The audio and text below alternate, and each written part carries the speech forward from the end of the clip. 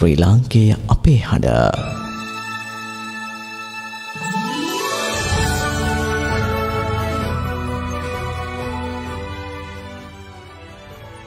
තාරුණ්‍යයේ සොඳුරු බව දකින්නට ජීවිතයේ සුන්දරත්වය මග නොහැරෙන්නට ලොව ජයගත් සොඳුරු මිනිසෙකුගෙන් ඔබේ ජීවිතයට අත්වැලක් රන් පිළිසඳර උදා වෙන ඔබේ හෙට දවස වෙනුවෙන්.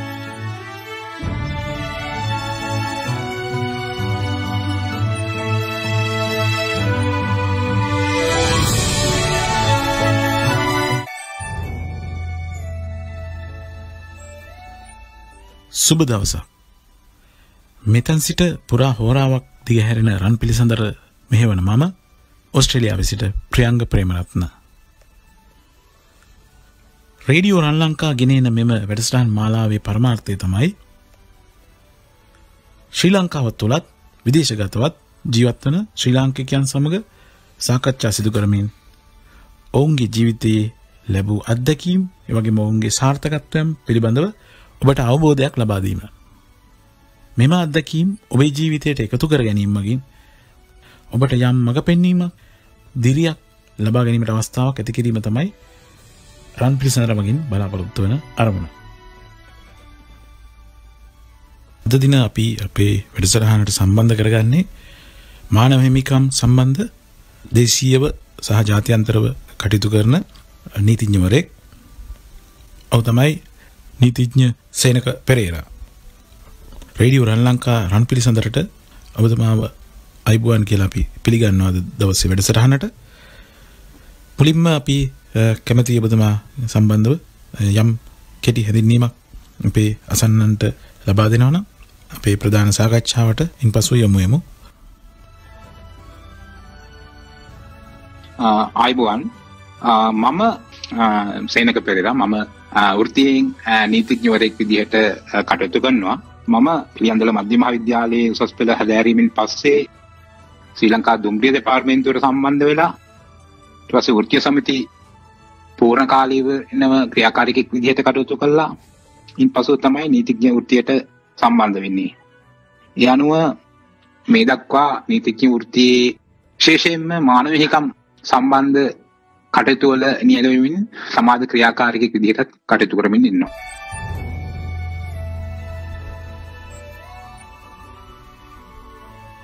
ඔබ අද වෙන විට ඊටාම ඉදිරි පෙළ ඊටාම ප්‍රබල මට්ටමේ හඬක් නගන මානව හිමිකම් ක්‍රියාකාරිකයෙක්.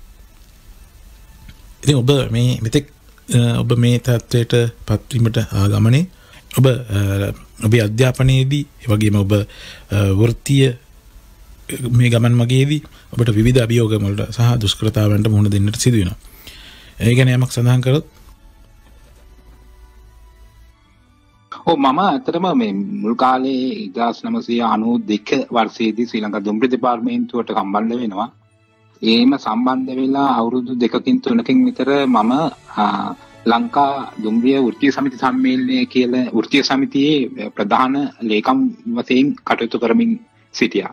එසේ ප්‍රධාන ලේකම් විදිහට කටයුතු කරමින් සිටීම එක්ක මම මගේ ජීවිතේ මට අත්දැකීම් විශාල ප්‍රමාණයක් ලබා ගන්න හැකියාව ලැබුණා. මොකද දුම්රිය සේවකයන්ගේ ප්‍රශ්නවලට මැදිහත් වෙන්න මට ප්‍රමාණවත් අවස්ථාවක් ලැබුණා. ඒ වගේම විවිධ බහුජන සංවිධාන විසින් කරපු ඒ අරගල මිනිසුන්ගේ අයිතිවාසිකම් වලින් අරගල දැන් උදාහරණයක් විදිහට එප්පාවල පොස්පේඩ් නිදිය බේරා ගැනීමේ අරගලයේදී මමත් ඉන්නවා. ඒ වගේ මට මම හිතන්නේ මගේ විෂයපතය මට පුළුල් කරගන්න ඒ දුම්රිය දෙපාර්තමේන්තුවේ මම කටයුතු කරපු ඒ වකවානුවේදී මට හැකියාව ලැබුණා. ඒ වගේම මට මතකයි ඒ 2005 වර්ෂයේදී ආණ්ඩුව විසින් 2006 කියන චක්‍රලයකෙන් වැටුප් වැඩි කිරීමක් කරනවා. ඒ වැටුප් වැඩි කිරීම කරේම දුම්රිය සේවකයන්ට එහෙම නැත්නම් පහළ සේවකයන්ට 110යි වැටුප් වැඩි කරේ. හැබැයි පාර්ලිමේන්තු මන්ත්‍රීවරුන් ඇතුළු ප්‍රභූ පන්තියේ ඉහළ කොටස් වලට 300කින් වැටුප් වැඩි කළා. එතකොට එතනදී මම ඒ වැටුප් වැඩි කිරීමේ ඒ අසාධාරණ පිළිවෙතට එරෙහිව ශේෂ්ඨාධිකරණයට මූලික අයිතිවාසිකම් නඩුවක් ගොනු කිරීම අවස්ථාව මට ලැබුණා. මම එහි පෙස්සම්කාරයෙක් විදිහට තවත් පෙස්සම්කරුවන් සිටියා. නමුත් මටත් ඒ අවස්ථාව ලැබුණා. ඒ හරහා මම හිතන්නේ ජනතාවගේ අයිතිවාසිකම් මිනිසුන්ගේ අයිතිවාසිකම් මිනිසුන්ට අසාධාරණ වෙන තැන් ගැන මට හොඳ අවබෝධයක් ලබා ගන්න පුළුවන් වුණා. එසේ සිටියේදී තමයි මම නීති විද්‍යාලයේ ඒ විභාගවලට සම්බන්ධ වෙලා නීති විද්‍යාලයට ඇතුළත් වෙලා ඒ කටයුතු කරමින් දැන් මේ දක්වා ඉන්නේ.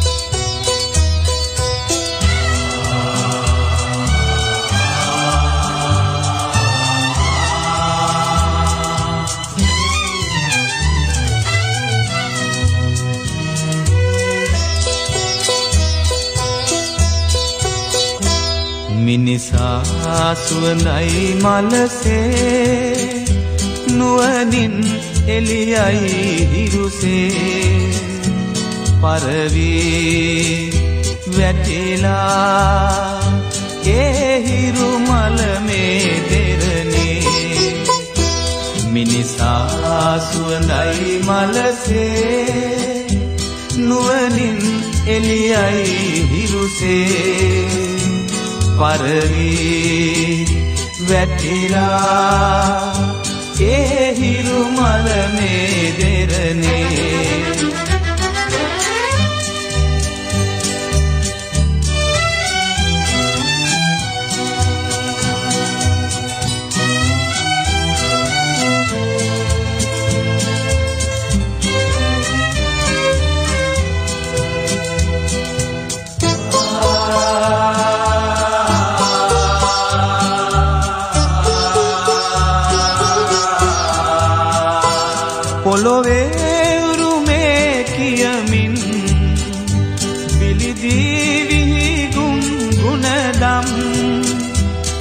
දහසින් මියනා සටනින් අඟලේ හිමිකම් සොයමින් ලොවනහවාස්ලෝ කඳුලින් සැනහේ ජය පැන් පුරමින් මිනිසා සුවඳයි මලසේ නුවනින් එලියයි හිරුසේ පරවී වැටිලා ඒ හිරු මල මේ දෙරනේ.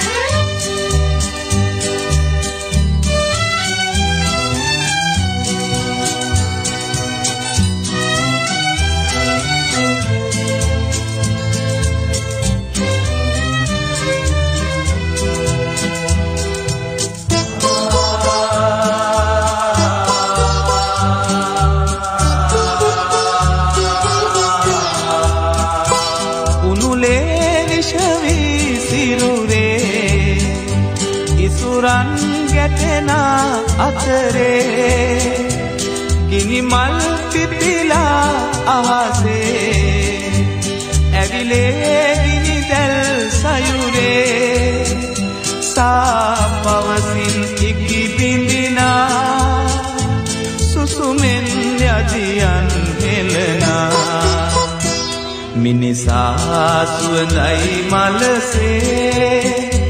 නුවනින් එලියයි හිරුසේ. පරවී වැටිලා ඒ හිරු මල මේ දෙරනේ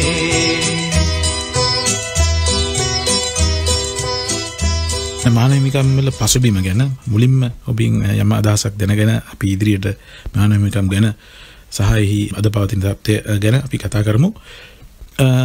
මුලින්ම කැමති ඔබෙන් මානහිමිකම් වල පසුබිම ගැන දැනගන්නට. ඒවගේම මානව හිමිකම් කියන අංශය ගත්තු ඒ තුළ මේ අපේ තරුණ ප්‍රජාවට තියෙන ප්‍රධාන වගකීම මොකක් කියලද ඔබ දකින්නේ? ඇතරම මේ මානව හිමිකම් සම්බන්ධයෙන් අපි ගත්තොත් එහෙම පසුබිම දිහට ගත්තාම ඇතරම ලෝකයේ අපිට මුල් යුගවලදී අපිට අපි දන්නවා මිනිස්සු වහල්ලු විදිහට පාවිච්චි කරලා තිනවා. ඒ කියන්නේ තවත් කෙනෙක්ගේ කුට සේවය සපයන්න මූලික මිනිස්කම ගැන නොහිතලා සේවය සපයන්න ඒ අය යොදාගෙන තියෙනවා වහල්ලු විදිහට. ඒගොල්ලෝ විවිධ වඩබන්ධන වලට පත් කරලා තිනවා. ඒ අනුව මිනිස්සුන්ගේ හියුමන් ඩිග්නිටි එක කියන එක එහෙම නැත්නම් මානව ගරුත්වය කියන එක පැත්තකට විසි කරපු යුගයක් තිබිලා තියෙනවා. ඒ එවැනි සිදුවීම් ගණනාවකින් පස්සේ ලෝකයේ මේ తত্ত্বය වෙනස් කිරීම වෙනුවෙන් ඇතිවෙන පළවෙන ලියවිල්ල තමයි මැග්නා කාටා කියන මේ ලියවිල්ල. මේ මැග්නා කාටා කියන ලියවිල්ල තමයි මේ මානව හිමිකම් ශේෂ්ත්‍රය ගැන ලෝක මට්ටමින් කතා කරනකොට අපිට තියෙන විධිමත් පළවෙන ලියවිල්ල. එතකොට ඒ ලියවිල්ලේ යම් කිසි විදිහකට මානව අයිතිවාසිකම් ගැන යම් සඳහනක් ඇතුළත් වෙනවා. හැබැයි ඒ ලියවිල්ලේ නැහැ මානව හිමිකම් ක්‍රියාත්මක කිරීම සම්බන්ධයෙන් එහෙම යාන්ත්‍රණයක් හෝ එහෙම නැත්නම් ඊට වඩා එහෙම ක්‍රමවේදයක් එහි සඳහන් වෙන්නේ නැහැ. ඊට පස්සේ අපි දන්නවා එක්සත් ජාතීන්ගේ සංවිධානය විසින් විශ්ව ප්‍රකාශනයක් එළි දක්වනවා මානව හිමිකම් ඇතුළත් විශ්ව ප්‍රකාශනයක්. ඒකට කියනවා අපි යුනිවර්සල් ඩෙක්ලරේෂන් කියන්නේත් ඒකටම තමයි. එතකොට මේ මානව හිමිකම් පිළිබඳ විශ්ව ප්‍රකාශනය තුළින් පළවෙනි වරට බොහෝම විධිමත්ව මානව හිමිකම්. කියන්නේ මිනිසෙකුට තියෙන්න ඕන මූලික මානව අයිතිවාසිකම් මෙන්න මේවාය කියලා පැහැදිලි කිරීමක් එක්ක ඒ කරුණු ඉදිරිපත් වෙලා ලියවිල්ලක් එළියට එනවා. ඒතකොට මේකෙදි මිනිසුන්ගේ මූලික මානව ගරුත්වය රැකින ආකාරයට ඒ කටයුතු සිද්ධ වෙන්න ඕනේ. ඒවා මිනිසුන්ගේ අයිතියක්ය ඒවා උල්ලංඝනය කරන්න කාටවත් බැරිය කියන පදනමින් තමයි ඒ ග්‍රහය තියෙන්නේ. එතකොට ඒවා ඒ එක්සත් ජාතීන්ගේ සංවිධානයේ සමාජික රටවල් අනුමත කිරීමකින් පස්සේ තම තමන්ගේ රටවල් වල නීති පද්ධතියට යොමු කරගෙන යොදාගෙන තියෙනවා. ඒතකොට දැන් අද අපි ලංකාවේ ගත්තාම ආණ්ඩු ක්‍රම ව්‍යවස්ථාවේ ඇතුළත් කරලා තියෙනවා තුන්වෙනි පරිච්ඡේදයේ කතා කිරීමේ නිදහස එතනින් ගියාම සමාගම් පැවැත්වීමේ නිදහස සහ අනිකුත් මූලික මේ වදහිංසාවලට වදහිංසාවලින් මිදීමේ නිදහස ආදී වශයෙන් තියෙනවා. ඒ වගේම අනිකුත් අනපනක් විදිහට ගත්තාම වදහිංසාවට එරෙහි ජාත්‍යන්තර සම්මුතිය කියලා පනතක් තියෙනවා. ඒකේ ඇත්තටම මේ වදහිංසාව කියන්නේ රාජ්‍ය අත්අඩංගුවේ ඉන්නකොට රාජ්‍ය භාරයේ ඉන්නකොට ඒ ඇති වෙන අත්අඩංගුවට ගැනීම වලදී වදහිංසාවන් සහ අනිකුත් අමානුෂික ආකාරයේ කටයුතු වලට විරුද්ධව පුද්ගලයෙකුට නීති ඉදිරියට යෑමේ හැකියාව ඒකෙදි පැහැදිලි කළා ඒ වගේම ක්‍රමවේදයක් ඉදිරිපත් කරලා තියෙනවා. ඒක යම්කිසි විදිහකට මානවිකම් ක්ෂේත්‍රයේ සහ ජනතාවක් විදිහට ලැබිලා තියෙන හොඳ තත්ත්වයක් විදිහට තමයි පේන්නේ.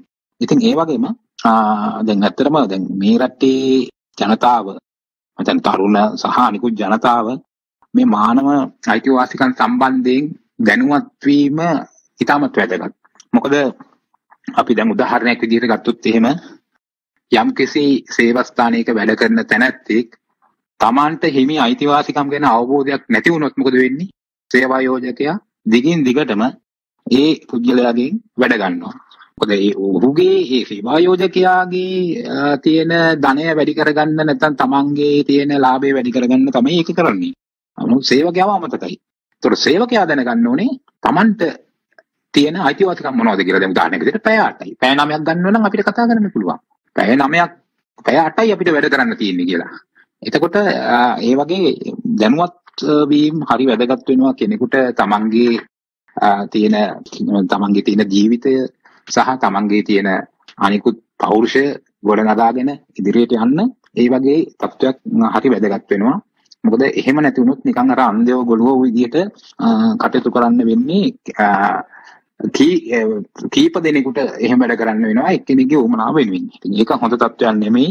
ඒ සම්බන්ධයෙන් අපි දැනුවත් වීමක් වෙන්න ඕනේ. ඒ හරහා තමයි අපිට අවශ්‍ය අපේ සහනයන් ලබා ගන්න තියෙන මාර්ග වලට අපිට යන්න පුළුවන්. ඔබේ අත්දැකීම කියන්නේ ඔබ දැනට කටයුතු කරගෙන යනකොට ඔබ දකින විවිධ වයස් කාණ්ඩවල පිරිස් ඒ වගේම විවිධ සමාජ මට්ටම්වල පිරිස් සමග ඔබ කටයුතු කරනවා. ඒ අතරින් ඔබ දකින්නේ කොහොමද අපේ රටේ ප්‍රජාවගේ විශේෂයෙන් මේ තරුණ ප්‍රජාව ගත්තොත් ඔවුන් මේ මානව හිමිකම් පිළිබඳව ඔවුන්ගේ තියෙන දැනුවත්භාවය ගැන ඔබ දරන අදහස මොකද්ද? ඔව් මම හිතන්නේ දැන් ඇත්තටම කියනවා නම් දැන් වෙනත් රටවල් එක්ක විශේෂයෙන් යුරෝපීය රටවල් එක්ක ගත්තාම ලංකාවේ තියෙන්නේ බොහොම පසුගාමී මානසිකත්වයක් විදිහට තමයි අපිට දකින්න පුළුවන්. අපි මානව අයිතිවාසිකම් වලට කලින් ඊට මෙහා අයිතිවාසිකම් තියෙනවා. සමහර මිනිස්සු දැන් අපි පාරිභෝගිකයෙක් වුණාම පාරිභෝගික අයිතිවාසිකම් තියෙනවා. අපි අ, වෙන අ, මේ අපි දීවරෙක් වුණාම දීවරෙක්ගේ අයිතිවාසිකම් තියෙනවා. ඒ වගේ අපි මගේ බස් එකකට ගාම මගේ විදිහට අයිතිවාසිකම් තියෙනවා. මම හිතන්නේ මානව අයිතිවාසිකම් වලට එන්න කලින් අපි ඒ අයිතිවාසිකම් වලදී අපි කොච්- කොහොමද ඒවට මුහුණ දෙන්නේ කියන එක පිළිබඳ ප්‍රශ්නයක් ප්‍රායෝගික තත්ත්වය අපි දකිනවා විශේෂයෙන්ම දැන් තරුණ අය බැලුවාම දැන් අපි අපි බස් එකක යනකොට බස් එකේ ඉතුරු සල්ලි අපිට රුපියල් දෙකක් දෙන්න තියෙනවා නම් අපි රුපියල් දෙක ඉල්ලන්නේ නැහැ. දැන් ඒක අපේ අයිතියක්. අපි අපි අපි අපිට සේවය සපයනවා බස් රථය බස් එකෙන් අපිට සේවය සපයනවා. අපි මේ මේ පැත්තෙන් අපි ඒකේ මගියා විදිහට ඉන්නවා. ඒ පාරිභෝගිකයා. එතකොට අපේ තියෙන අයිතියක් තමයි අපි මුදල් දුන්නට පස්සේ අපිට ඒ ඉතුරු ශේෂ වෙන මුදල අපිට ලබා දෙන එක. එතකොට ඒක ගැන අපි කතා කරන්නේ. එතකොට තවත් අපි දකිනවා ඔය දැන් රුපියල් 99ට තියෙන මේ මේ දුරකථන ජංගම දුරකථන වලට යොදන කාඩ් තියෙනවනේ.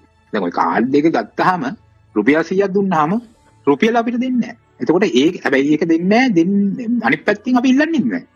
ඉතින් මම හිතන්නේ දැන් මෙන්න මේ වගේ දැන් තරුණ ප්‍රජාව ආ, විශේෂයෙන්ම දැන් මේ වගේ දේවල් එල්ලීමේදී ප්‍රශ්න කිරීමේදී ඒගොල්ලෝ නිකන් මේ මේ සමාජයෙන් නිකන් කොන් වෙයි නැත්නම් ඒගොල්ලෝ නිකන් මේ ඇත්තටම කියනවා නම් මේ අවතක්සේරු වෙයි කියලා වගේ නිකන් අදහසක ඉන්නවා. ඉතින් ඒක ඇත්තටම ඒ ඒකම තමයි අවසානයේදී මේ තමන්ගේ අයිතිවාසිකම් ඊට වඩා විශාල තමන්ගේ අයිතිවාසිකම් උල්ලංඝනය වුණත් තමන් ඉදිරියට නොයන මානසිකත්වයක් තියෙන කෙනෙක් තමයි අවසානයේ බිහි වෙන්නේ. දැන් එක්තරා දවසක මගෙන් දැන් මම ආ, මම හෝමගම ඉඳන් අලුත් කඩේ උසාවියට එනකොට බස් එකේ බස් එක අවසන් වෙන්නේ මේ අලුත් කඩේ උසාවිය ආසන්නෙන් ඒ හරහා ගිහලා තමයි බස් එක අවසන් නැවතුම් පුරට එන්නේ. ඒතකොට සියල් ගොඩක් අ, සියලුම ස- මේ මේ මගින් බැහැලා අන්තිමට කොන්දස්තර තැන මගෙන් ඇහුවා ආ, මේ ලං වෙලා දැන් ওই මහත්මයා නීතිඥ මහත්මියද අ, මම කෝ මේ මට පොඩි ප්‍රශ්නයක් තියෙනවා දැනගන්න මම මොකක්ද කියන්නේ. ආ, අපිට මේ පොලිසියෙන් අපිට ඒගොල්ලන්ට ගහන්න පුළුවන්ද කියලා මගෙන් ඇහුවා. ඉතින් මං ඉඳන් කිව්වා මේ පොලිසියට කිසිම දෙයක් කිසිම අතවත් යන්න ඔයගලන්ට අයිතියක් නැහැ. එතකොට මේ ආ, මොකද මිනිස්සුන්ට හිරිහැර ගන්න වද හිංසා කරන්න දඬුවම් කරන්න කිසි කෙනෙකුට අයිතියක් නැහැ. එහෙනම් ඒකට අධිකරණය දෙනවා. එතකොට ඉතින් ඉන්න මෙන්න මේ වගේ මා- මානසික තත්ත්වයක් තමයි සාමාන්‍ය අය හිතාගෙන ඉන්නේ. ඉතින් මේක හොඳ තත්ත්වයක් නෙමෙයි මේක නිසාම දැන් වද හිංසාව කියන එකට යම්කිසි පැවැත්මක් ලැබෙනවා ඒ තමන් නීතිය නොදැනීම. තමන්ගේ අයිතිවාසිකම් නොදැනීම, තමන්ගේ සීමාව නොදැනීම. ඉතින් ඒ හින්දා මම හිතන්නේ මේ රටක මානව අයිතිවාසිකම් කියන එක අ, ඇත්තටම එක පැත්තකින් රටක් කොච්චර දියුණුද නැද්ද කියන්න අවශ්‍ය මිනුම් දණ්ඩකුත් වෙනවා වෙන පැත්තකින්. මොකද Tamanට අ, පොලිසියෙන් මොන හරි අකටයුත්තක් වුණත් ඉතින් යන්නේ නැහැ. මොකද බස් එකේ ඉතුරු සල්ලි ඉල්ලන්නේ නැති ඒ ඒක ගැන ප්‍රශ්න කරන්නේ නැති කෙනා මම හිතන්නේ එතනින් එහාට යයි කියලා. ඉතින් මේ මේ මේ මේ පෞරුෂය විශේෂයෙන්ම මේ තරුණයන්ගේ මේ අද ඇති වෙලා තියෙන මේ පෞරුෂය පිළිබඳ අ, ඇත්තටම අපිට සෑහීමටපත් වෙන්න බෑ මේ පෞරුෂය කියලා මේගොල්ලෝ තීරණය කරන්නේම අද අ, හොඳ ඇඳුමක් ඇඳගෙන හොඳ වාහනයකින් යන හොඳ අ, සුවඳ විලුම් දාගෙන යන අ, පුද්ගලෙක් තමයි මේ පෞරුෂය කියන පුද්ගලෙක් කියලා කියන්නේ. ඉතින් මේක මේ අර්ථකථනය මේ කියවීම ඇත්තටම අපි මේ වෙනස් වෙන්න ඕනේ. ඒ වෙනස් වුණොත් තමයි යථාර්ථයත් එක්ක ගනුදෙනු කරන තරුණ පරපුරක් බිහි වෙන්නේ. එතකොට දැන් එතනදී ඇත්තටම අපි අපි දැන් මේ තරුණ පරපුර නියම යථාර්ථවාදී ප්‍රශ්න කිරීම වලට තමන්ගේ අයිතිවාසිකම් කඩවීමේදී හෝ කඩවීමට ආසන්නව අ, අවස්ථාවලදී කටයුතු කරනවා වෙනුවට ඒගොල්ලෝ බොහොම නිකන් මේ ආවේගකාරී අ, ප්‍රවේශයකින් තමයි තමන්ගේ මේ ප්‍රශ්න වලට තමන්ට තියෙන අ, ගැටලුවට විසඳුම් සොයන්න යන්නේ. ඉතින් මම හිතන්නේ මේක අ, විවෘතන් නෙමෙයි. අ, මේ අ, වාණිජ්‍ය අ, වාණිජ්‍ය සංස්කෘතිය තුළ එහෙම නැත්නම් මේ වාණිජ්‍ය කරණය තුළ අ, මේක බරපතල ඛේදවාචකයක් විදිහට තමයි අපිට පේන්නේ. මොකද මේකෙන් වෙන්නේ අ, තමන් අ, හැමදාම එක තැනකට සීමා වීමත් අ, තමන්ගේ අයිතිවාසිකම් වලින් සීමිත පිරිසක් විතරක් අ, ප්‍රතිලාභ ලබා ගැනීමක් තමයි මේකෙන් අපිට ප්‍රායෝගිකව පේන්නේ.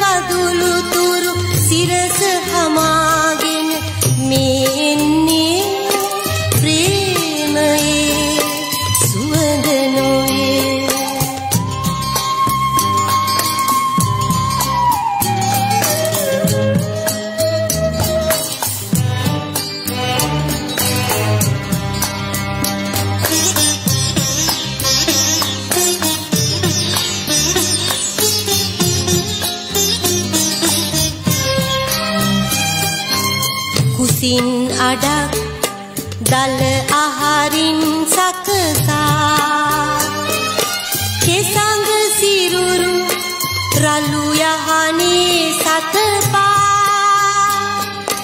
අනියත හෙට ගැන සිතමින් විද්‍යා ශිල්ප කලාවන පොත් කරනා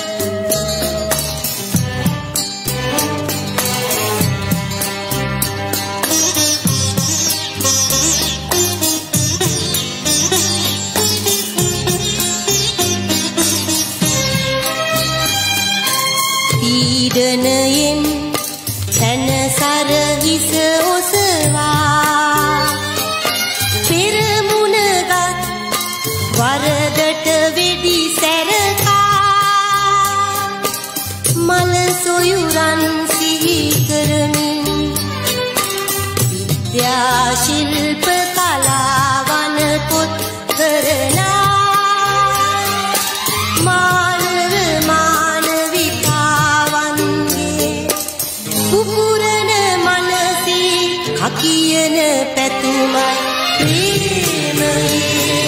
සුවඳ නොවේ හන්තාන අඩවියේ. මැදුරු කුළුණු සුදු සඳරු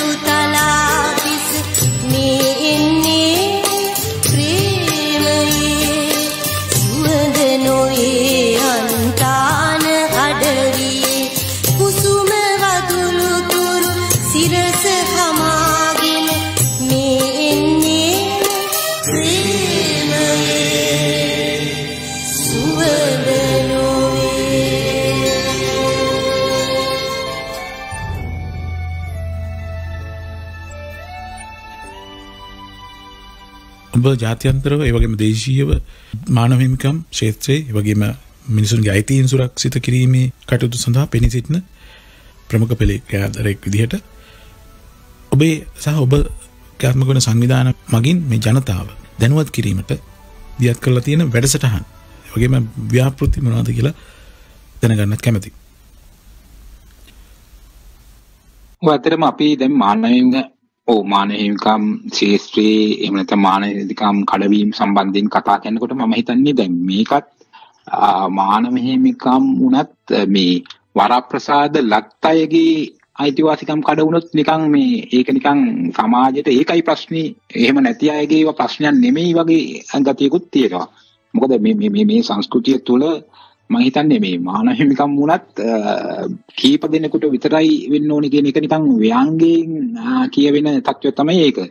ඉතින් ඇත්තටම ඒක නිසාම අපි අ, වරප්‍රසාද නොලත් සමාජයෙන් කොන් වෙච්ච අ, පිරිස් සම්බන්ධයෙන් වැඩිපුර උනන්දුවක් දක්වන පිරිසක් විදිහට සහ පුද්ගලයෝ විදිහට තමයි කටයුතු කරන්නේ. එතනදී අපි අ, විශේෂයෙන්ම සිරකරුවන් සම්බන්ධයෙන් කම්කරුවෝ ඔය නාටාමි අ, ක- ක- මේ රැකියාව කරන අය ඒ වගේම සනීපාරක්ෂක සේවකයෝ ඒ වගේම මේ රටේ ඉන්න ලිංගික ශ්‍රමිකයෝ වගේ අයගේ අයිතිවාසිකම් වෙනුවෙන් ඒ කටයුතු කරන්න අවශ්‍ය ක්‍රමවේදයන් වැඩපිළිවෙළ ප්‍රායෝගික වැඩපිළිවෙළ හදලා ඒ අය ඇත්තටම තවදුරටත් අ, සමාජයේ ලෝකයේ මිනිස් දූවිලි බවට පත් වෙන්න නොදී ඒ අය යම් සමාජ මට්ටමක් යම් තත්ත්වයකින් ඒගොල්ලෝ ඉහළට නංවන්න අපි කටයුතු කරමින් ඉන්නවා.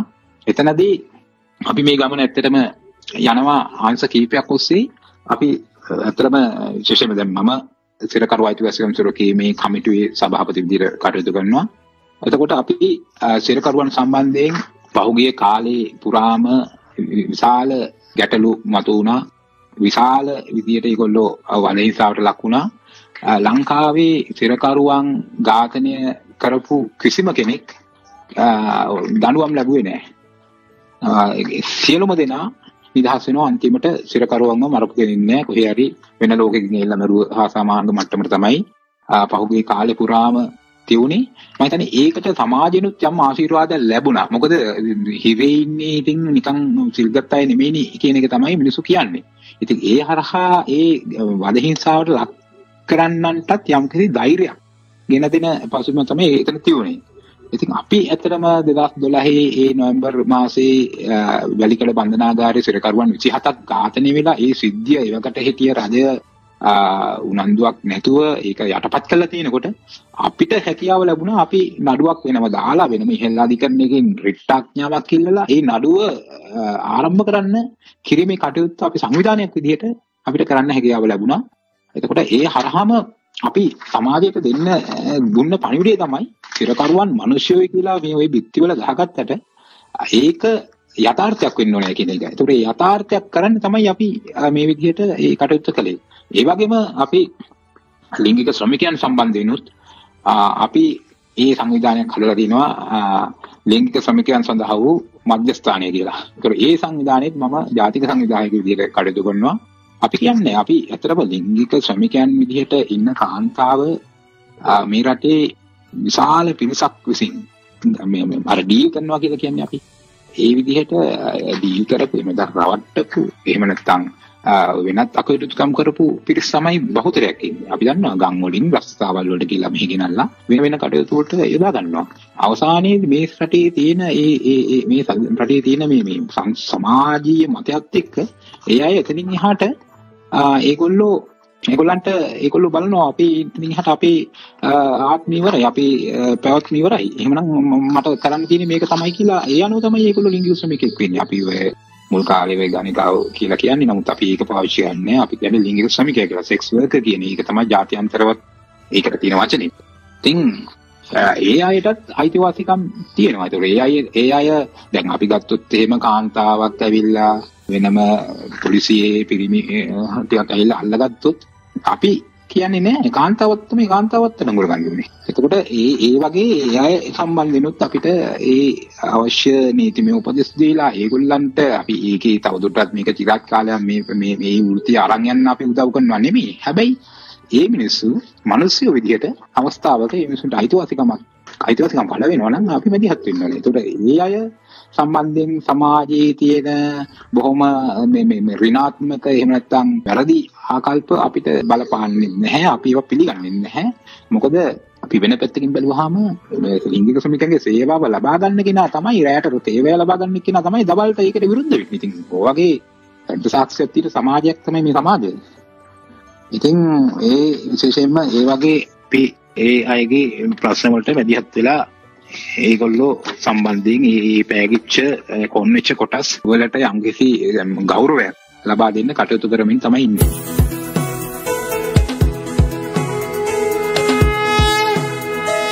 ඇසුවන් දෙසවන් පිනවන නාමය රන් ලංකා රන් ලංකා මුවගින් මුවගට රැව්දෙන සේවය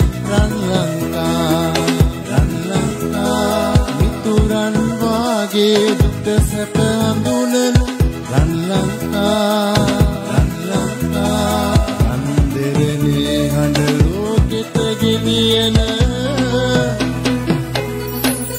රන් ලංකා www.radioranlanka.lk ශ්‍රී ලාංකේය අපේ හඬ.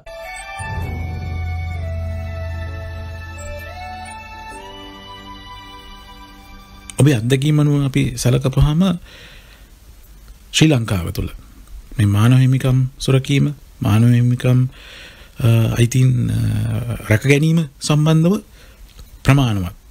එවගේම ශක්තිමත් පෙළගැසීමක් තිබෙනවද. මේ තත්ත්වය දුර්වලතාවයක් තියෙනව නම් මේක ශක්තිමත් භාව පවත්වා ගන්නට මොන වගේ වැඩි දියුණුවීම්ද සිදුවිය යුතුයිද කියලාද ඔබ දකින්නේ.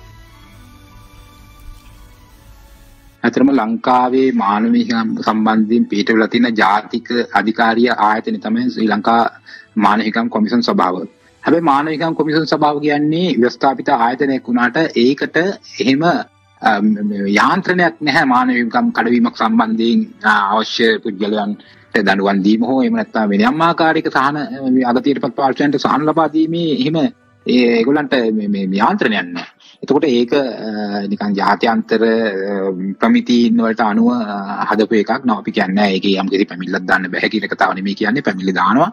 නමුත් ශ්‍රී ලංකාවේ මානවිකම් කොමිෂන් සභාවේ කටයුතු සම්බන්ධයෙන් සෑහීමට පත් වෙන්න බෑ. මොකද ඒක ඒකට පැමිණිල්ලක් දැම්මා කියලා මම හිතන්නේ ඒ අවසානයේ ගොඩාක් අය අපිත් එක්ක කියලා තියෙන අපේ තියෙන ප්‍රායෝගික අත්දැකීම තමයි මේකෙන් වැඩක් නැහැ කියන එක. ඉතින් ඒක තියෙනවා අනිත් පැත්තට මේ තවදුරටත් ලංකාවේ නිල බලයට මුදලට ඒ වගේම දේශපාලන අධිකාරියට මේ මිනිස්සුන්ගේ අයිතිවාසිකම් යටත් කරගන්න හදන උත්සාහයක් අපි දකිනවා දිනෙන් දිනම මොකද අපි දන්නවා පහුගිය කාලේ අර එක්තරා පාසලක ගුරුවරියක් ධන ගැස්ම ප්‍රාදේශීය දේශපාලඥයෙක්.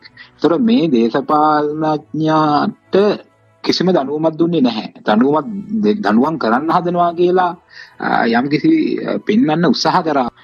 නමුත් ඔහුට දනුවමක් දුන්නේ නැහැ. මොකද දැන් අනිත් දැන් ඒක ඇත්තටම ඊට පස්සේ ඒ ඡන්දෙටත් අපේක්ෂකෙක් විදිහට ඒ මේ පුද්ගලයාව මේ නාම යෝජනා ඒ පුද්ගලයාට දුන්නා.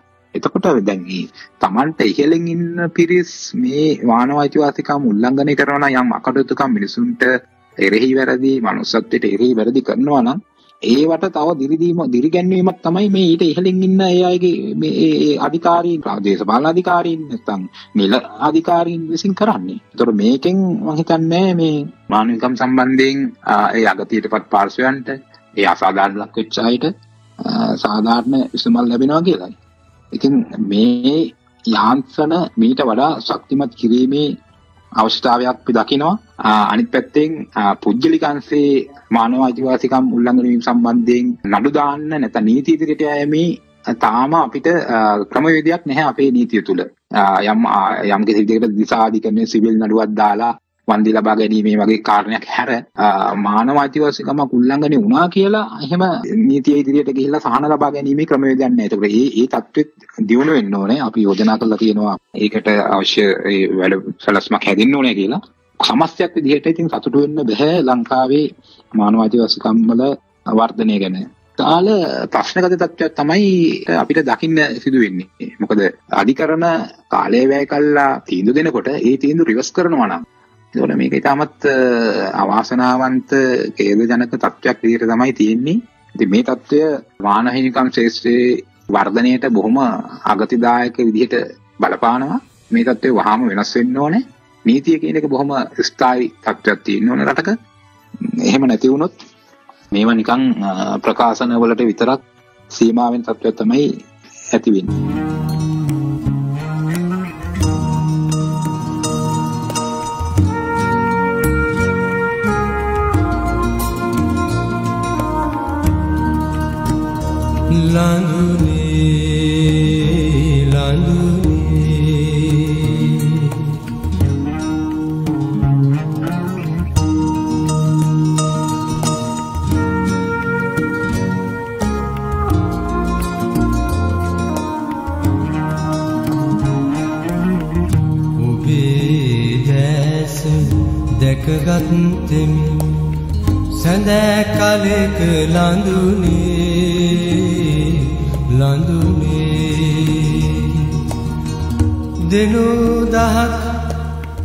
අතගත්තද සැමියෙකු නැති ලඳුනේ නැයික් නෑ කම නොකියන විදි සරණ ලඳුනේ ලඳුනේ මල්ගෙන දෝතපුරා මුනිකුටියට පියමංවන ඔබේ දැස දැකගත්තෙමි සැඳෑ කලෙක ලඳුනේ ලඳුනේ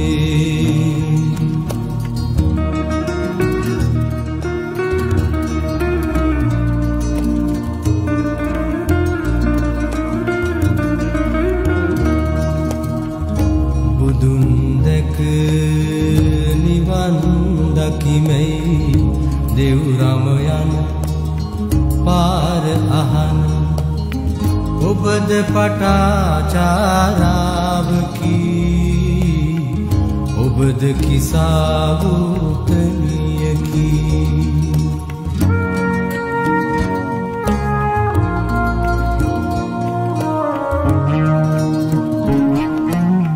පිරිමින්ගේ පාප කඳට දෝසවිදින ලඳුනේ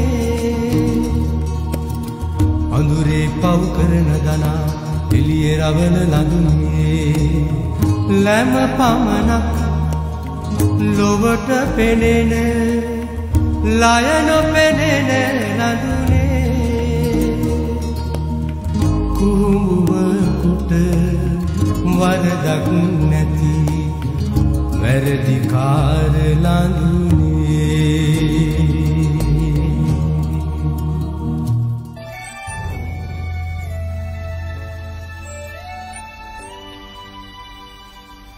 අපි මේ විදිහට මානව හිමිකම් ගැන කතා කළත් සමාජයේ සමහර පිරිසක් මානව හිමිකම් ගැන දකින්නේ විවේචනාත්මකව. අ, සමහරුන්ගේ අදහස තමයි මේ හැම දෙයකටම මානව හිමිකම් කියලා ද- දෝෂාරෝපණ තියෙනවා.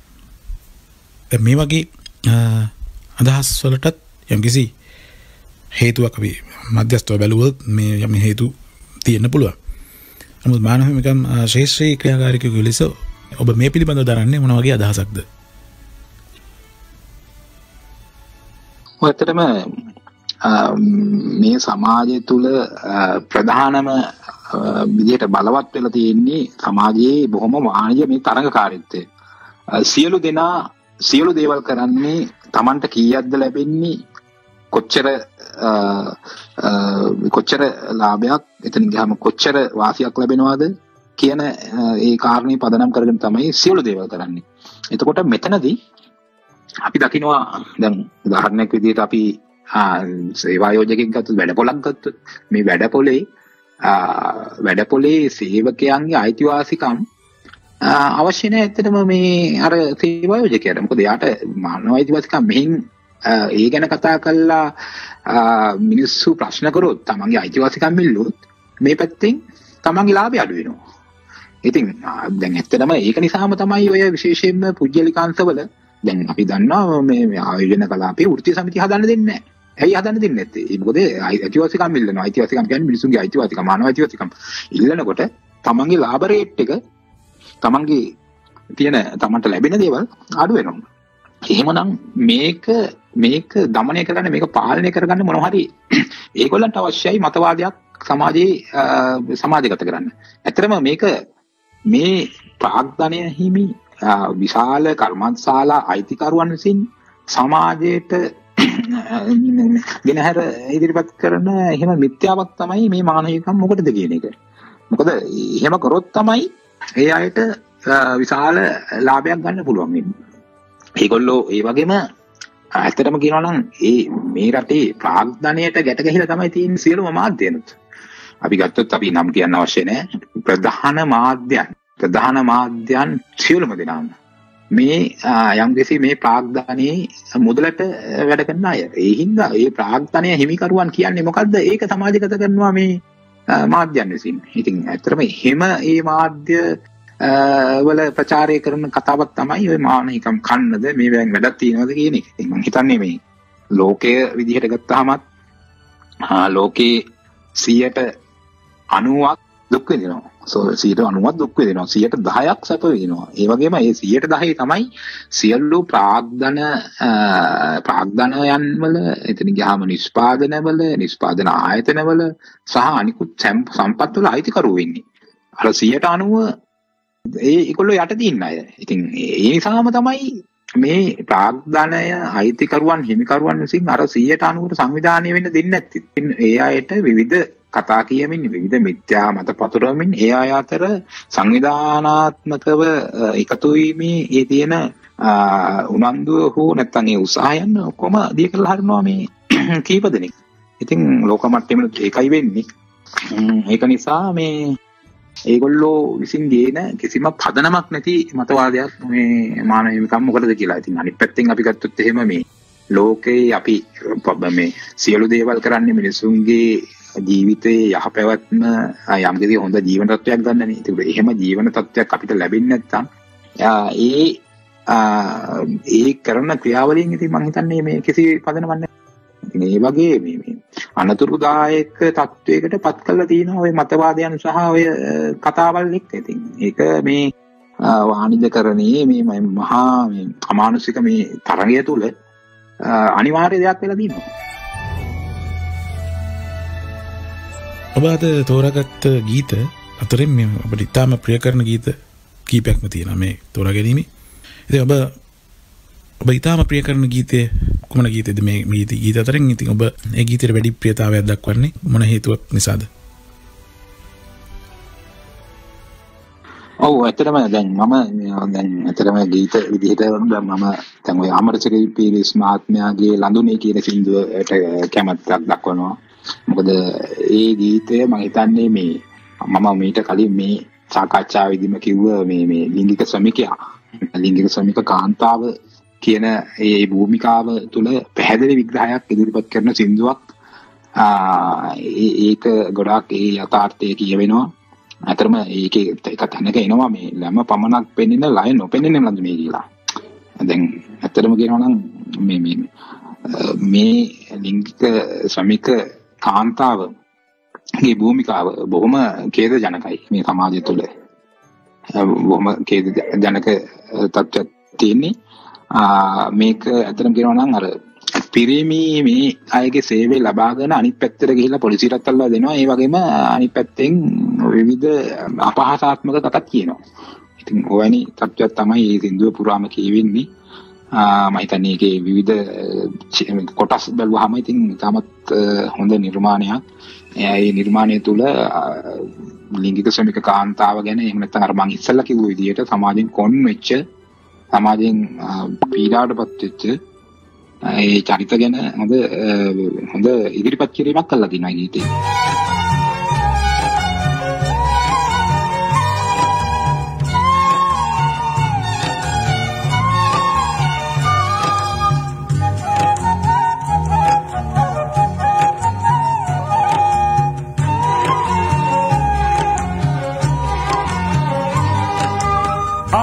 උසට නැග ගියාට නැහනේ ආසෙ රැඳෙන්නේ. ආසෙ මාලිගා ඇදුවට අපි පොළොවේ සිටින්නේ. ආස උසට නැග ගියාට නැහැනේ ආසෙ රැඳෙන්නේ. ආසෙ මාලිගා හැදුවට අපි පොළොවේ සිටින්නේ.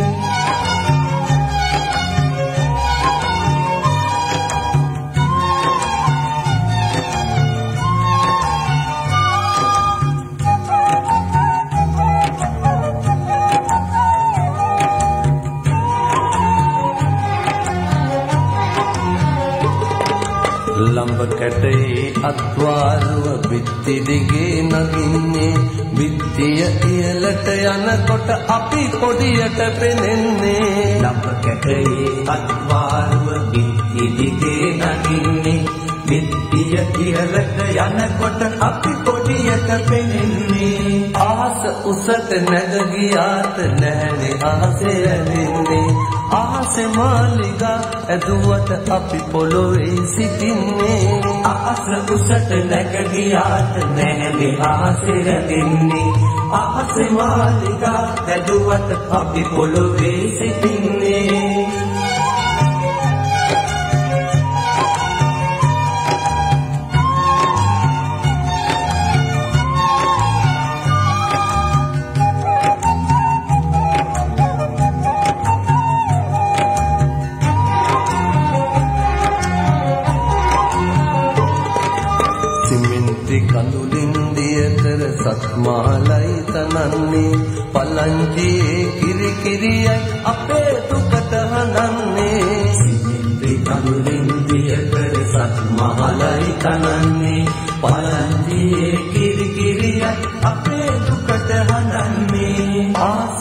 උසට නැග ගියාට නැහනේ ආසෙ රැඳින්නේ ආසෙ මාලිගා ඇදුවට අපි පොළොවේ සිටින්නේ.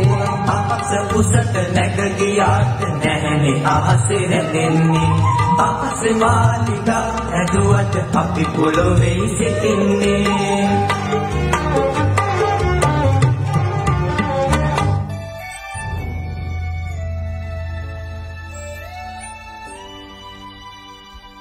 මානව හිමිකම් හා සම්බන්ධව ගත්තම ආගම දර්ශනය යම් ප්‍රමාණයකින් මේ මානව හිමිකම් ගැන කතා කරනවා.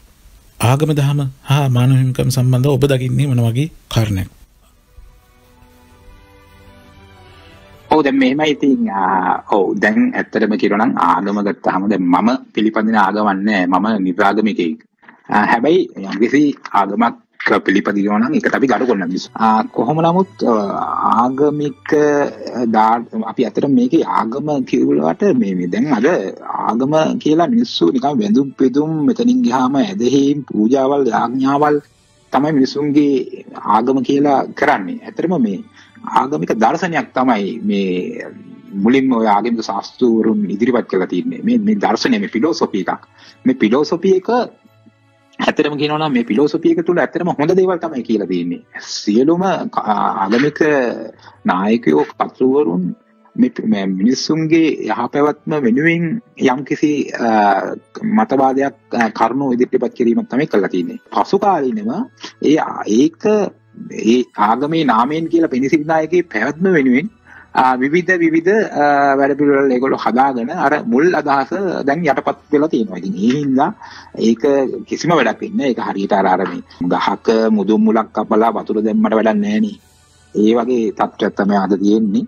ඉතින් අනිත් පැත්තෙන් මම හිතන්නේ මේ මානව අයිතිවාසිකම් සහ ආගම අතර එහෙම ලොකු සම්බන්ධයක් නැහැ මම කියන්නේ. ආගමේ මානවවාදී ලක්ෂණ තියෙනවා. හැබැයි මානව හිමිකම් කියන්නේ ඊට ගොඩාක් දුර ගිය අදහසක්. මොකද මානව හිමිකම් සම්බන්ධයෙන් යම් යාන්ත්‍රණයක් තියෙනවා කඩ වුණොත් මොකද්ද කියන ප්‍රශ්නේ තියෙනවා. අගතියටපත් පාර්ශවයට මොනවද ගන්න පුළුවන් සහන තියෙනවා. එතකොට ඒ වගේ යාන්ත්‍රණයක් මිනිසුන්ට ප්‍රායෝගිකව ඇත්තටම කියනවා නම් මූණ දෙන්න එදිනෙදා මේ ප්‍රශ්නවලදී කටයුතු කරන්න පුළුවන් නම් ඉතින් ඒක තමයි ප්‍රායෝගික වෙන්නේ මොකද එහෙම නැතුව අපි මානව අයිතිවාසිකම් කරනට පස්සේ පන්සලකට හරි පල්ලියකට හරි කෝවිලකට හරි ගිහිල්ලා මේ අර මිනිස් ඇඹරනවට ඇඹරුවොත් හරි එහෙම නැත්නම් එන ආකාරයකට අපි මොනවා හරි හෙන ගහපන් කියලා හෙන ඉල්ලීමක් හෝ නැත්නම් වෙන ආකාරයේ මිත්‍යා කාර්ය විදිහට කටයුතු කරනවා නම් මම හිතන්නේ ඒක වැඩක් වෙන්නේ නැහැ. අපි නීතිය තුල එහෙම නෙමෙයි මානව හිමිකම් කිව්වහම ඒකට ඒ තියෙන ඒ යාන්ත්‍රණයත් එක්ක අපිට පුළුවන් වෙනවා අපිට සහනයක් හොයන්න යම් උත්සාහයක් හරි ගන්න. එතකොට මම හිතන්නේ මේ මිනිස්සු නීතියේ පැවැත්ම ආරක්ෂා කරන්නෙම නීතියේ පාලනය ආරක්ෂා කරන්නෙම නීතිය කැඩුවොත් Tamanට දඬුවම් ලැබෙනවා කියන එක. මොකද මේ නීතියේ පාලනය තුල තියෙන ප්‍රධාන ලක්ෂණයක් ඒක.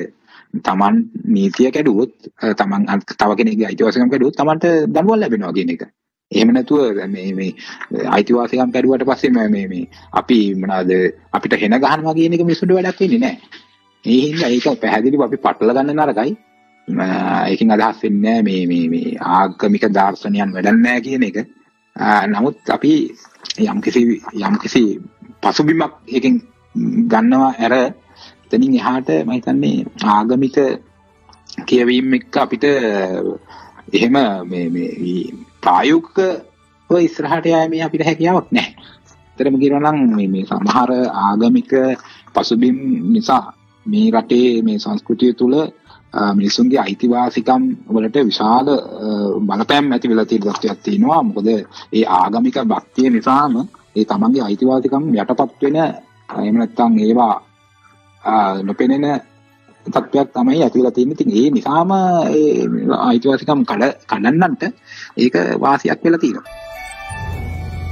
අවසාන වශයෙන් මම ඔබෙන් දැනගන්න කැමති ඔබේ වෘත්තීය ඉලක්කයන් සහ ඔබේ මේ කටයුතු වල අනාගත කටයුතු මොනවද කියලා? ඒ වගේම අපේ ශ්‍රී ලාංකික ප්‍රජාවට මානව හිමිකම් ඒ වගේම ඔවුන්ගේ අයිතීන් අ, සුරක්ෂිතව කරගෙන ජීවිත ශක්තිමත්ව පවත්වාගෙන යාමට ඔවුන්ට ලබා දිය හැකි උපදේශය මොකක්ද? ඔව් ඇත්තටම අ, මම මම හිතන්නේ මේ වැඩසටහනේ මුල් අවස්ථාවේ කියපු ආකාරයට ආ, තරුණ ප්‍රජාවටම අපි සීමා වෙන්න ඕනේ. නමුත් මිනිස්සෙක් විදිහට මේ ලෝකේ ආ, එළිය දැක්ක ඕනම කෙනෙක් තමන්ගේ අයිතිවාසිකම්, තමන්ගේ වපසරිය, තමන්ගේ ආ, මූලික ඒ සීමාවන් මොනවද කියන එක පිළිබඳ ආ, තමන්ට අවබෝධයක් තියෙන්න ඕනේ. එහෙම නැත්නම් ඒක බොහොම නරක විදිහට වෙනත් කෙනෙක් පාවිච්චි කරනවා. ඒ අවස්ථාව වෙන කෙනෙක් ගන්නවා. ඒකෙන් තමන්ට තමන්ගේ දියුණුවට තමන්ගේ ආර්ථික වෙන්න පුළුවන් තමන්ගේ සමාජීය වෙන්න පුළුවන් තමන්ගේ පෞෂ වර්ධනය වෙන්න පුළුවන්. ඒ සියලු දේවල් වලට ඒකෙන් අගතියක් වෙන්නේ. ආ, ඒ හරහම ආ, තමන්ගේ ජීවිතය මම හිතන්නේ ඉදිරියට නෙමෙයි පස්සට යෑමක් පස්සට යෑමේ දිශානතියකට තමයි යොමු වෙන්නේ. ආ, තමන් ආ, දැනුවත් වෙන්නේ නැත්තම්. ඒතරම් බලවන්ත වීම කියන එක සෑම ශේෂ්ත්‍රයකම ආ, පිරිස විසින් කරන්න ඕනේ. ඒකෙදි ආ, මේ බලවන්ත වීම කියන එකේ ආ, ප්‍රධාන කොටසක් තමයි මානවිකම් ශේෂ්ත්‍රයේ සම්බන්ධයෙන් තමන්ගේ අයිතිවාසිකම් සම්බන්ධයෙන් තමන්ට තියෙන ඒ ආ, ඉලක්කයන් ඒ තියෙන තමන්ට තියෙන තමන්ගේ ශේෂ්ත්‍රය මොකද්ද කියලා දැනුවත් වෙලා ආ, එතනින් ඒක දැනුවත් වෙලා නිකන් ඒක නවකතාවක් කියුවාගේ නිකන් ඉන්නේ නැතුව තමන් ඒවා බොහොම ප්‍රායෝගිකව කොයි විදිහට යොදවා ගන්න කියන එක බලන්න වෙනවා. මොකද එහෙම නැති වුණොත් මම හිතන්නේ ආ, අපි මේ සමාජයේ තවදුරටත් ආ, අර ඩාවින්ගේ පරිණාමවාදය ඒ තියෙන එන ආකාරයට අපි මේ සමාජයේ පවතින්නේ නැති අපිට පවතින්න බැරි ආ, අපි වාරණයට ලක් වෙන චරිතයක් උජ්ජලයක් වෙන එක නවත්වන්න බෑ.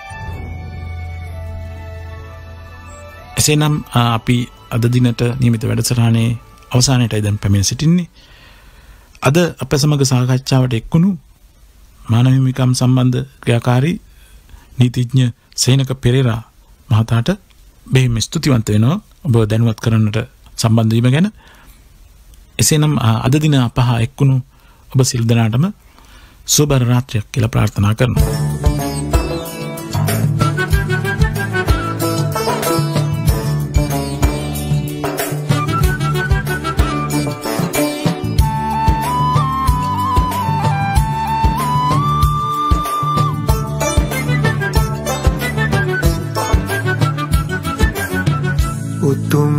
මනුදම් පියකිලා. කුරිරු අද මිටුකම් පැතිරි. ඉතින් කිමනුබ බලා ඉන්නේ?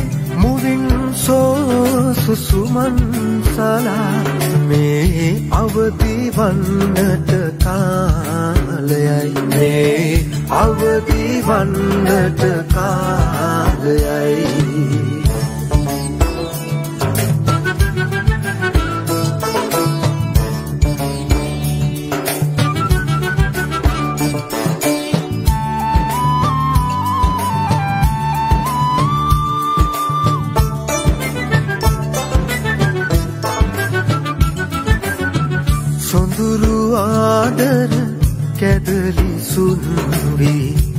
මිතුරු සොහොයුරු පෙමද වියැකි ගමේ පන්සල ගියා නොපෙනි. කොහේ කොයි නුඹ තවම ගුලිවී. අවදි වන්නට කාලයයි.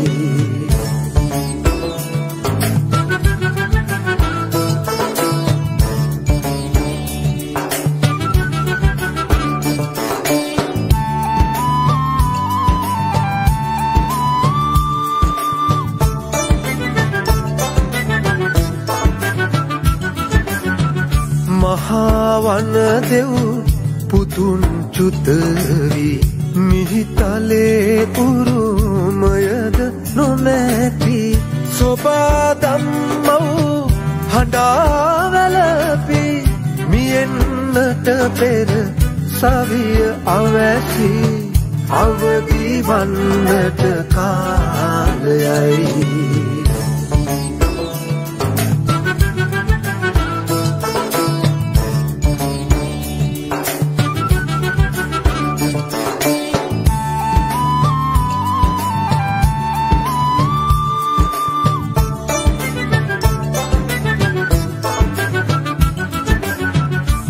කිසිසිතින් සතුරන් නසන්නට නුවනැසින් මිතුරන් තනන්නට බොදුවතින් මිහි මවුරකින්නට පෙරට එවූ පෙරුමන් පුරන්දට අවදිවන්නට කාලයයි.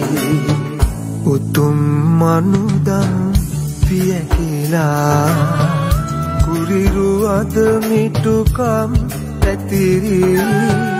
ඉතින් කිමනුබ බලා ඉන්නේ?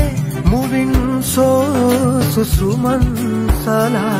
මේ අවදිවන්නට කාලයයි. මේ අවදිවන්නට කාලයයි.